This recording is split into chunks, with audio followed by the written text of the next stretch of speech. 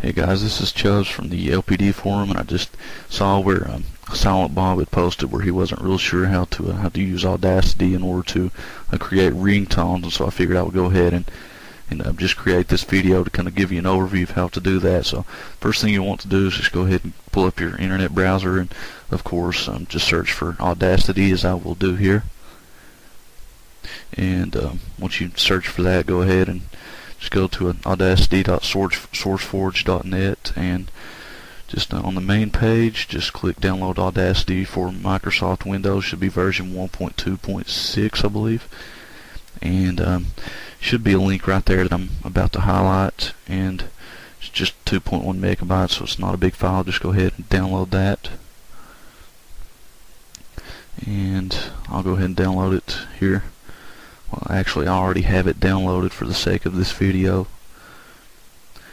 But, um, and um, you'll also need the lame MP3 encoder later on, but just ignore that for now. I'm highlighting it, but ignore that. Just download Audacity, and then once you get that, just double-click the in, uh, the installation icon that has now appeared. Once it's downloaded, and just go through the um, setup wizard and and uh, set it up, install the program, and once it's installed, it will create the icon that I will double click here.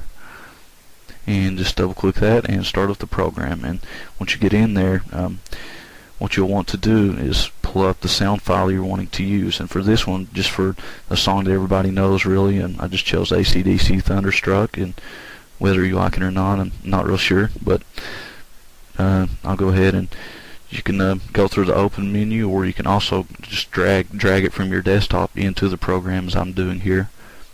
Once you do that it'll load it in just a couple seconds.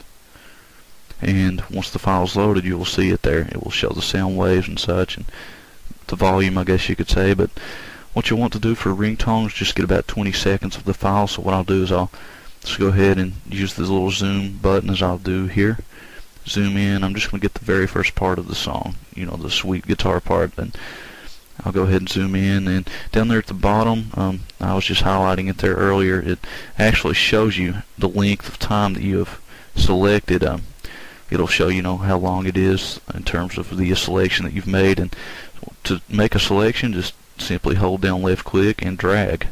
And as you can see there, it's about 20 seconds long. So I'll play it just to make sure.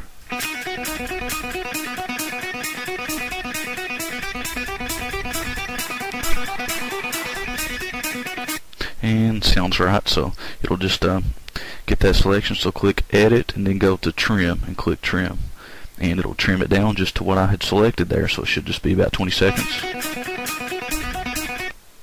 And what you'll need to do is click file and then go to export as mp3 but before you can actually export it as an mp3 you'll have to download the lame lame mp3 encoder that I referred to just a few minutes earlier so on the same download page where you downloaded the actual program, click lame MP3 encoder and under the Windows sections section click go to the lame download page as I'm highlighting here. And once you get there up at the very top where I'm highlighting it should say for Audacity on Windows, click that zip file and download it to your computer. And once you download that small file, it will appear there as a zip folder so go ahead and uh, go ahead and just unzip that folder. And once you have it unzipped as I've already done for this video just pull up the folder just to make sure the files are there. And the main file that you will need is this lame under slash enc.dll file. That's the main file for using the lame mp3 encoder. You can place that anywhere on your computer in your hard drive anywhere and it should work. So go to back to file, export as MP3, and let's go ahead and rename that file.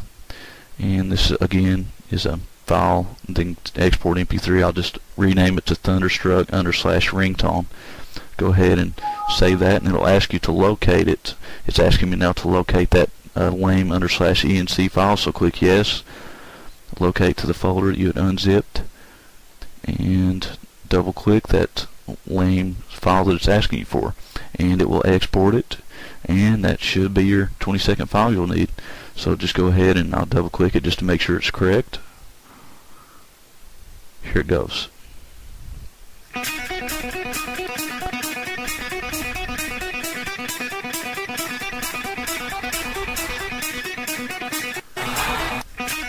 There we go 20 seconds. 20 second sound file. Should be all you'll need for a ringtone. You can set it any length you want. You know if you want it any any longer than 20 seconds feel free but but um, that's how you create ringtones. It's a simple process and it should be all you'll need to do and thank you for watching guys.